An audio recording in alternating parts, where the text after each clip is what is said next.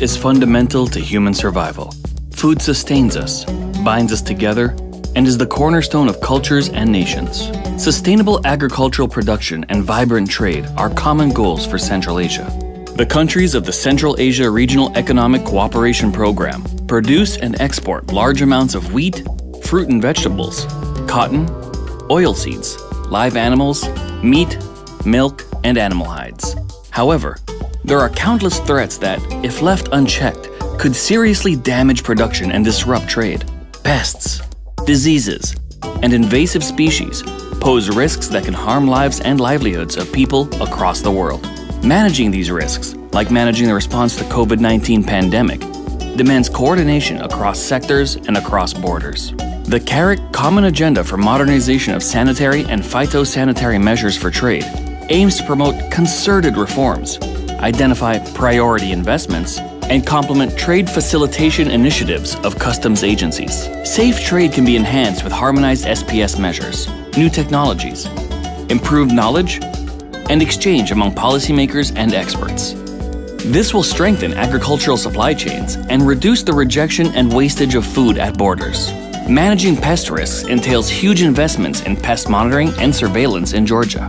The commitment and skilled specialists of the National Food Agency were critical to address the spread of the brown marmorated stink bug that severely damaged their hazelnut production. An initiative to strengthen pest risk management will help add horticultural value along the Fergana Valley. It will also allow the participating CAREC countries of Kazakhstan, the Kyrgyz Republic, Tajikistan, Turkmenistan, and Uzbekistan to access new markets. Keeping food safe depends on adequate processes and procedures to prevent contamination. Turkmenistan is improving food safety practices among small manufacturers and catering businesses.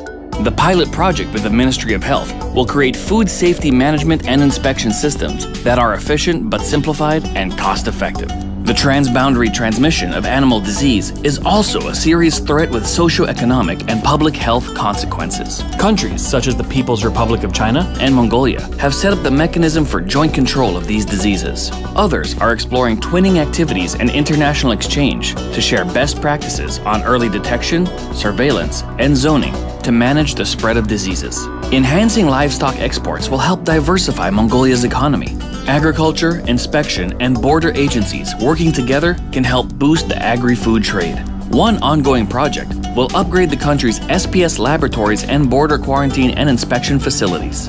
Similarly, coordinated border management projects are proposed for neighboring countries such as Azerbaijan and Georgia as well as between Afghanistan and Pakistan. The CAREC Integrated Trade Agenda 2030 will continue to help member countries better respond to emerging issues that transcend boundaries. As CAREC countries cope with the COVID-19 pandemic, keeping trade open while managing risks is crucial for sustainable recovery.